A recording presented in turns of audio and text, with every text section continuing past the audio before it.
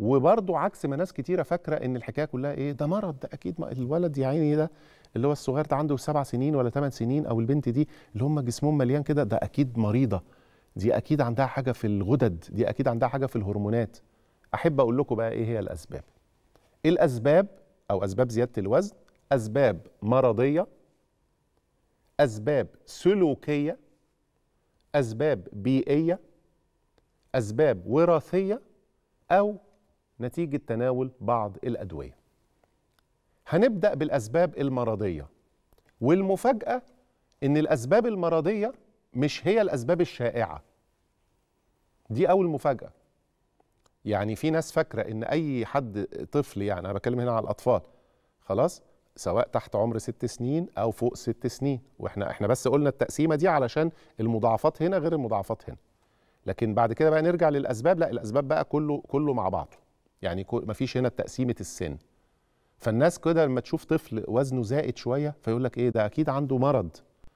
خلاص زي ما أنا لسه قايل لكم. لا الأسباب المرضية مش هي الأسباب الشائعة. ما بقولش إنها مش موجودة موجودة.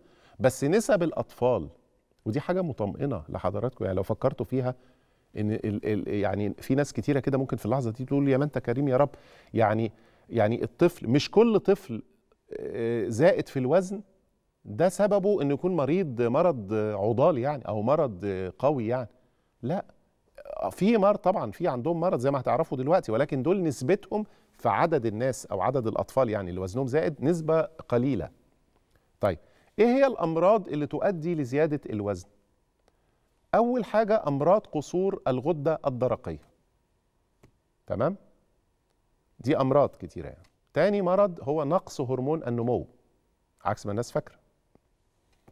تالت حاجة متلازمة داون أو Down syndrome رابع حاجة اسمها متلازمة تيرنر خلاص؟ وأسباب أخرى. العلاج هنا بيكون تبع يعني إيه؟ لما نقول مثلا هيكون تبع تخصص الغدد الصماء. مش في أحيانا تسمعوا الكلمة دي يقول لك إيه ابنكم أو الطفل مليان شوية أو البنت مليانة.